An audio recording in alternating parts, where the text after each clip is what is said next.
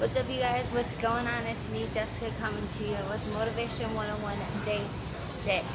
We're here again in the gym, continuing to work on the things that we need to do to get ourselves feeling right, to push forward, to accomplish all of our goals in life. I just want to get to you guys really quick so I don't forget about you, of course, with a really good quote of the day that I heard during some personal development audio.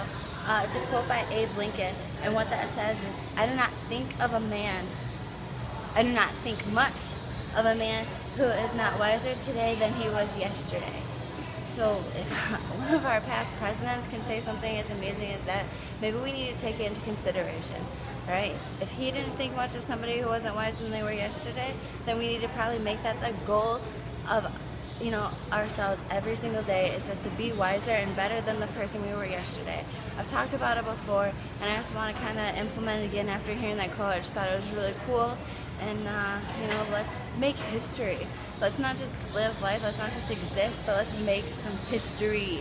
Okay, we can take quotes from people who have fallen, like past presidents and you know, past mentors and billionaires and millionaires and entrepreneurs and whatever. We can take lessons, we can heed from what they have said, you know, heed warning, whatever you want, take advice from it, take whatever you can from people who have been successful, people who have been in position of power and accomplishments. You know, those are the people to really think about the things that they say, really implement some of the stuff that they've even done. They did it, they did something that obviously worked for them, so pick it apart pick somebody that stands out to you in history that was successful, that was a major, you know, part of history, and just see some of their quotes, see some of the stuff that they accomplished, see some of the struggles that they had to go through, and you'll realize that we're all kind of the same. We all see struggles, we all go through them. You know, life's always throwing bricks and rocks and glass at all of us. It's just how you deal with it and the person you become during that journey. So embrace it and remember to be wiser and better than you were yesterday.